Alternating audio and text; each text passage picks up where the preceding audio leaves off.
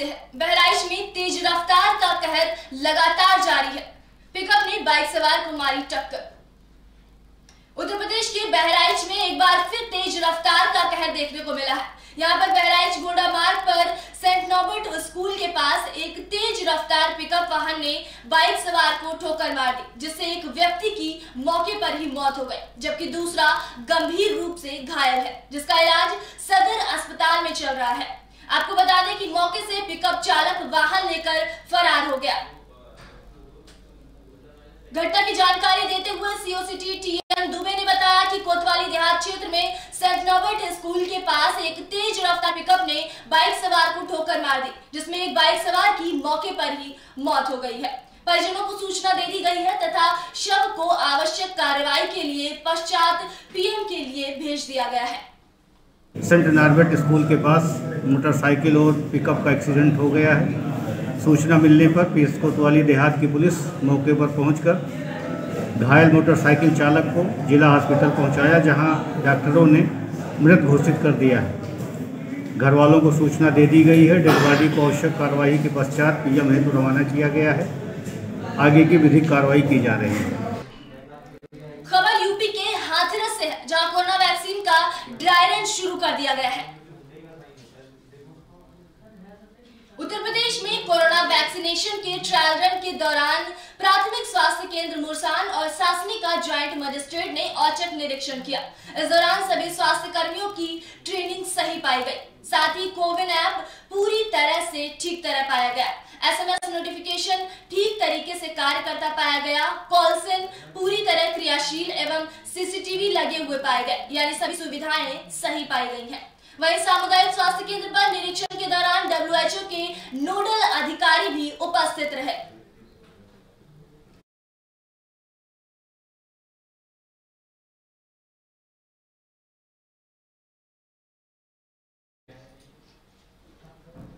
आपको बता दें कि यूपी के हाथरस में कोरोना वैक्सीन का ड्राई रन शुरू है।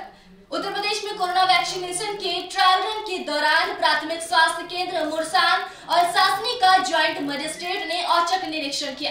इस दौरान सभी स्वास्थ्य कर्मियों की ट्रेनिंग सही पाई गई, साथ ही सारी व्यवस्थाएँ भी सही रूप से पाई गई। वही सामुदायिक स्वास्थ्य केंद्र पर निरीक्षण के दौरान डब्ल्यूएचओ के नोडल अधिकारी भी वहाँ पर उपस्थित रहे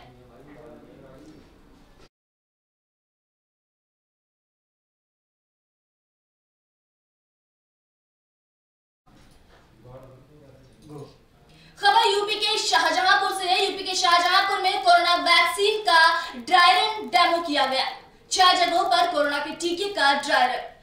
यूपी के शाहजहांपुर में कोरोना वायरस वैक्सीन का ड्राई रन डेमो किया गया, जहाँ पर स्वास्थ्य कर्मियों को डेमो के तौर पर वैक्सीनेशन की फॉर्मेलिटी पूरी की गई। मुख्य चिकित्सा अधीक्षक के नेतृत्व में यह डेमो किया गया। आपको बता दें कि यूपी के शाहजहांपुर में छह स्थानों पर कोरोना वायरस के टीके का ड्राई रन किया गया, जिसमें मेडिकल स्टाफ डॉक्टर को सर्वप्रथम ड्राई रन के लिए चिन्हित किया गया था। प्रत्येक जगह पर 25-25 लोगों के ऊपर ड्राई रन किया गया। इसकी खास बात यह रही कि यह ड्राई रन उसी तरह से किया गया था कि वास्तविक रूप में जब टीका लगेगा तो किन किन बातों का ध्यान रखा जाना है। टीके के लगने के बाद यदि कोई साइड इफ़ेक्ट होता है तो किस किस दवाई का प्रयोग करना है या इंजेक्शन दिया जाना है, मरीज़ बने डॉक्टरों के ऊपर ड्राई रन के दौरान पूरा एहतियात बरता गया। यहाँ तक कि उनका ब्लड प्रेशर और पल्स रेट भी लगातार चेक की गई।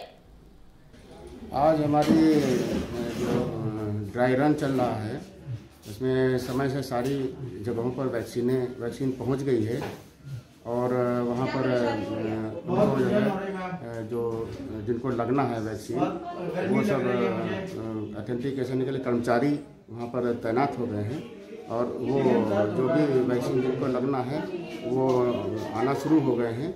और उनको सबसे पहले तो जहाँ पर वैक्सीनेशन रूम है वेटिंग रूम वेटिंग रूम में से पहले उसको वेरीफाई कर रहे हैं कि जो जिसको वैक्सीनेशन होना है, वो व्यक्ति, उसको ऐप पे देख लेते हैं कि हमारे रजिस्ट्रेशन उसका हुआ है और वो रजिस्ट्रेशन निकाल लिस्ट निकाल के सभी बूथों पर लिस्ट भी उपलब्ध है। लिस्ट से मैच कर ले रहे हैं खबर यूपी के फिरोजाबाद से है फिरोजाबाद पहुँचे कैबिनेट मंत्री राजेंद्र गौतम, आप कर रहा है यूपी चुनाव की लगातार तैयारियाँ। उत्तर प्रदेश में आपके 2022 में चुनाव लड़ने के ऐलान के बाद मानो उत्तर प्रदेश की राजनीति में भूचाल आ गया। इसी कड़ी में आम आदमी पार्टी के कैबिनेट मंत्री राजेंद्र पाल गौतम सुहानगरी फिरोजाबाद पहुँचे। जहाँ आम आदमी पार्टी के पुराने कार्यकर्ताओं ने पूर्व संगठन संयोजक गंगा पुत्र राकेश यादव के नेतृत्व में कैबिनेट मंत्री राजेंद्र पाल गौतम का जोशीला स्वागत किया। इस दौरान आपके उत्तर प्रदेश सचिव नूर मोहम्मद सिद्दीकी के साथ में पुराने आप कार्यकर्ता भी मौजूद रहे। जैसा कि आप सभी जानते हैं कि आम आदमी पार्टी द्वारा आधिकारिक घोषणा 2022 के चुनाव को लेकर की गई है। इसके बाद लगातार उत्तर प्रदेश में आम आदमी पार्टी के नेता सक्रिय होने लगे हैं। सुहाग नगरी फिरोजाबाद की सरजमी पर आम आदमी पार्टी के कैबिनेट मंत्री राजेंद्र पाल गौतम पहुँचे, जिनका पूर्व संगठन संयोजक गंगा पुत्र राकेश यादव के नेतृत्व में जोशीला स्वागत आम आदमी पार्टी के पुराने कार्यकर्ताओं द्वारा किया गया। इस दौरान आम आदमी पार्टी के उत्तर प्रदेश सचिव नूर मोहम्मद सिद्दीकी की मौजूदगी में पुराने आम आदमी पार्टी कार्यकर्ताओं ने जोशीले स्वागत के साथ साथ जोशीले नारे लगाए। यूपी में पहली बार आगमन हुआ है। क्या कहना चाहेंगे सर मीडिया से सर? यूपी में पहली बार आगमन नहीं हुआ जी। ये कहो फिरोजाबाद में ज़रूर पहली बार आगमन तो हुआ है आपका? हाँ तो हम लोग देख रहे हैं कि उत्तर प्रदेश को जंगल राज में तब्दील कर दिया है। योगी जी ने? जी। ना यहाँ कोई महिला सुरक्षित है ना दलित सुरक्षित है ना पिछड़े वर्ग के लोग सुरक्षित है जी। अल्पसंख्यक वर्ग के लोग सुरक्षित हैं, ना ब्राह्मण सुरक्षित है। ना यहाँ को अच्छे स्कूल हैं ना यहाँ अच्छे अस्पताल हैं। और पूरी तरीके से जंगल राज है। पुलिस तक को बीजेपी के गुंडे थाने में घुस के पीट देते हैं। तो आज उत्तर प्रदेश के को आज दिल्ली के मॉडल की सख्त ज़रूरत है।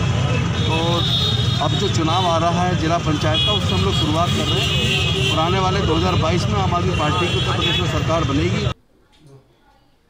खबर यूपी के गोंडा से है। यूपी के गोंडा में आरोपी ने नाबालिग के साथ दुष्कर्म की वारदात को अंजाम दिया। माँ लगातार अपनी बच्ची के लिए न्याय की गुहार कर रही है।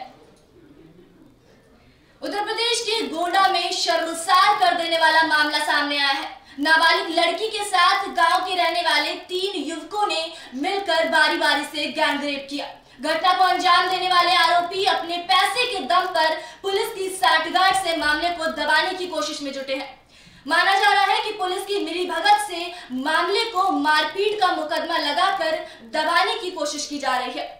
आपको बता दें, पूरा मामला धानेपुर में आता है, जहाँ एक नाबालिग लड़की के साथ वहीं गाँव के रहने वाले बेरहम युवकों ने घर में घुसकर कई बार दुष्कर्म को अंजाम दिया है। पीड़िता की माँ धानेपुर थाने के चक्कर काट कर थक हार गई है, लेकिन कोई सुनवाई नहीं हुई। जिसके बाद एसपी ऑफ़िस पहुंचकर कप्तान साहब से न्याय की गुहार लगाने पहुँची। सबसे बड़ा सवाल ये है कि यूपी में महिला उत्पीड़न को देखते हुए मिशन शक्ति मिशन का क्या मतलब रह गया है? वही आरोपी कानून को ताकत में रखकर खुलेआम रेप जैसी घटनाओं को अंजाम दे रहे हैं और पुलिस हाथ पर हाथ रखकर बैठी हुई है।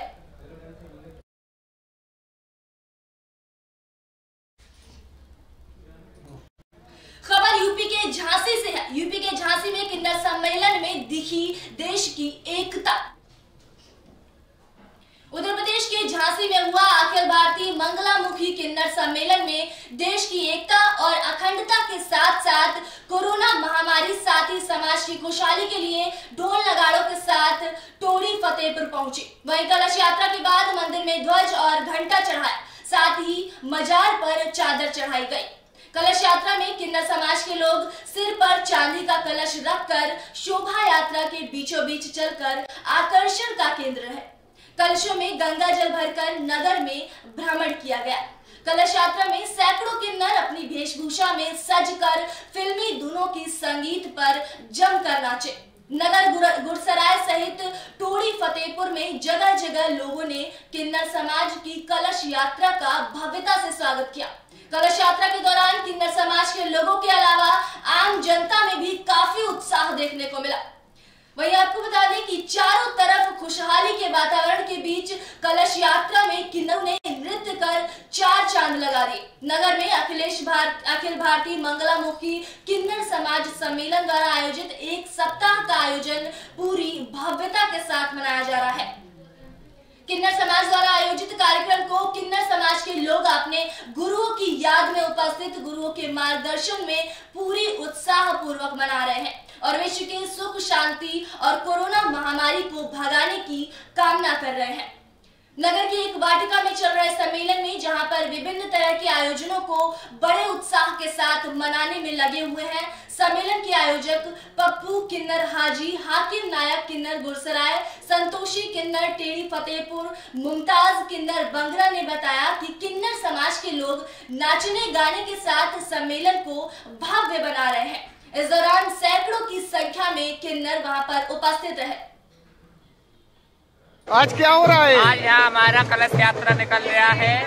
लोगों की सुख शांति के लिए बच्चों वालों के लिए दुआ करते हैं हम लोग। हमारे ग्रामवासी सदा खुशी रहे अच्छे रहे उनके बच्चे अच्छे रहे वे कोरोना महामारी से मुक्ति पाए। वो है कलश यात्रा निकाली गई आज गुरसराय शहर में टोड़ी फतेहपुर में। और ये हम लोग करते हैं दुआएँ मांगते हैं। हाँ हमारे बच्चे यानी खुशी बने रहे, हमारे जजमान के, अमन चैन रहे, मालिक करे यानी हमारे पूरे देश से और यानी क्या बोलते हैं, पूरे विश्व से यानी ये यानी कोरोना महामारी जल्दी से जल्दी जाए खबर यूपी के कुशीनगर से है। यूपी के कुशीनगर में यूपी पुलिस पर गाँव वालों का बोलबाला दिखा। उत्तर प्रदेश के कुशीनगर में न्यायालय के आदेश का अनुपालन कराने गई पुलिस पर गाँव वालों ने अचानक हमला कर दिया। आपको बता दें कि जमीनी विवाद में सिविल न्यायालय के आदेश का अनुपालन कराने गई थी पुलिस। न्यायालय ने एक पक्ष की ज़मीन पर विपक्ष द्वारा किए जा रहे अवैध हस्तक्षेप को रोकने का आदेश दिया था। एसडीएम द्वारा दिए गए आदेश पर न्यायालय के आदेश का अनुपालन कराने गई पुलिस पर अचानक हमला हो गया। जिस दौरान गाँव वालों ने पुलिस को दौड़ा दौड़ा कर पीटा।